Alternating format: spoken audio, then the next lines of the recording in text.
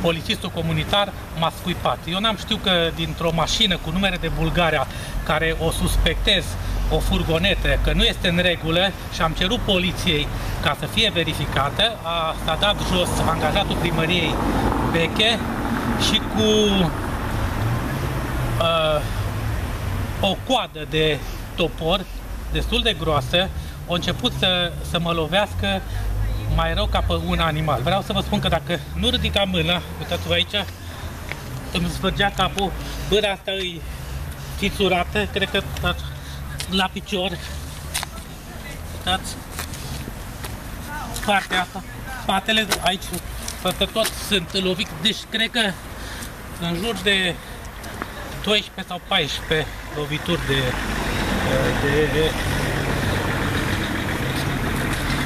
m-a lovit și după aia Berzescu a prins curaj și a început și el să dea cu pumnii și mi-a spart buzele, fața, tot sânge, tot în mașină e tot sânge.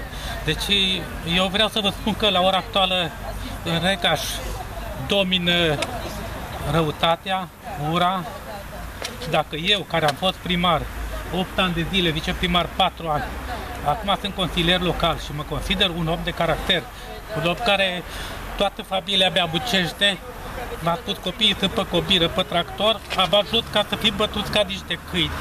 Deci vreau să vă spun că inclusiv pun un semn de întrebare și poliției din Recaș că am cerut în momentul acela să meargă să ia din mașină acea coadă de topor cu care am fost lovit.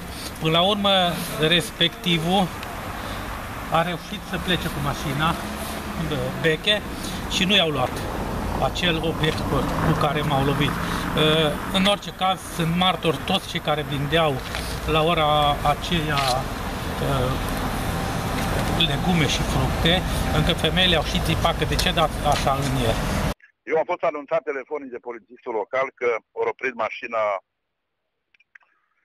fostului primar încărcată cu peste vreo 40 de tone de porumb pe un drum unde e restricționat cu 3,5 tone, proaspăt asfaltat și că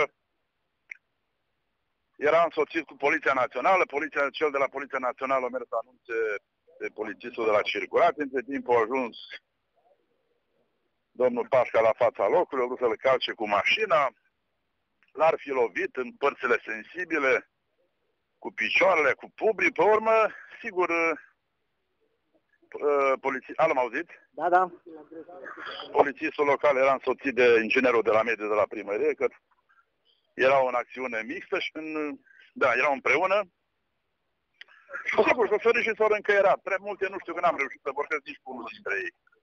Uh, domnul Pașca spune că domnul Becher l-ar fi lovit cu un par, cu o coadă de topor. Eu, eu așa am înțeles și eu că după ce l-a lovit pe polițistul local și continua să dea în el, domnul Beche a sărit în ajutorul lui să-i despartă, l-a fi lovit și pe el. Nu cunosc prea multe amănunte.